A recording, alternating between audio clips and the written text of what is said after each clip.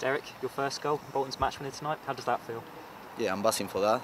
But the most important thing I think is we have done a, a good game, so that's the more important thing, and we won. So I think obviously I'm happy because of the goal, but I'm happy because we won as well. So that's the most important thing.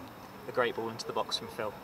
Yeah, I think he's doing. He has done a lot of deliveries, as we call him the postman. So I think it was a, a good ball and a good header. So I'm happy for that. And a good win to get into the second round. Yeah, we are looking forward for the second round. It's been a, a tough game, but we did our, our work, so we are happy for that. Back in your normal uh, defensive position today.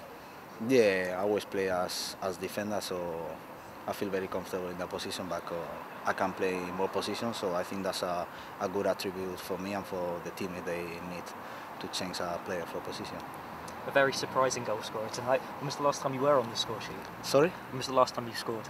Last time I scored was with the second team, Real Madrid, against Huesca three years ago. So it's been a, a long time. I was, oh, I'm very happy because uh, it's my first goal for Bolton. So I think it has been a lot of uh, hard work uh, behind. So I'm very happy for that. You could see in the first half you got coming close with a couple of corners. Yeah, obviously, I try to score every time I, I get into the, the area, into the box. But my main job is defend, so I try to, to block every shot.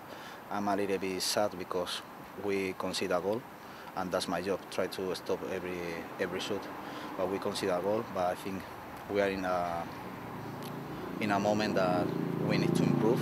Great from the fans tonight. Yeah, they have they have been brilliant tonight, as they they did it last season as well. So we are happy to get them in every away trip. So And now so. Millwall away next. yeah, it's gonna be a tough game as well, but we are looking forward for that.